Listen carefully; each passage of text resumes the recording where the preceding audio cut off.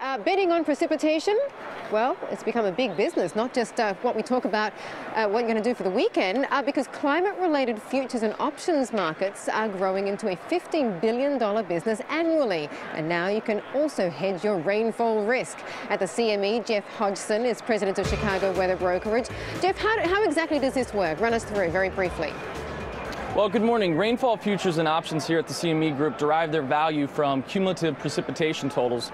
The CME has listed nine stations that are tradable on a monthly or on a seasonal basis. So being long futures means you profit from high levels of rain. Being short, your position would benefit from the lack of rain. But unlike a traditional hedge, uh, you are you are trading the actual volume. You're trading the amount. So it's known as a volumetric hedge rather than trading the price of a commodity.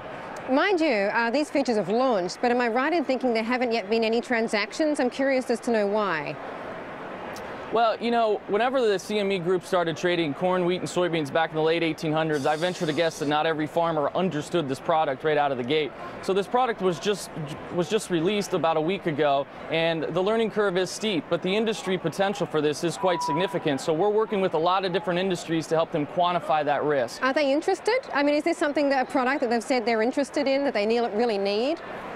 Certainly, I mean, I think the most obvious example is going to be in the, in the ag space where a farmer needs a certain amount of rain. Uh, to offset that rain, he can put on a downside protection trade, uh, a put spread, that would offset the lost yield that, that, that he receives in his corn crop. But look at some other industries. Look at look at some everyday industries like the golf course industry. It's a $90 billion a year industry. Mm. Uh, there's over a thousand golf courses in this, just the state of Michigan alone that a uh, wet August could could be 50 or 100 million dollars of, of, of lost revenue. So it's my job to educate them and help them quantify that risk. Jeff, how big of a market do you see?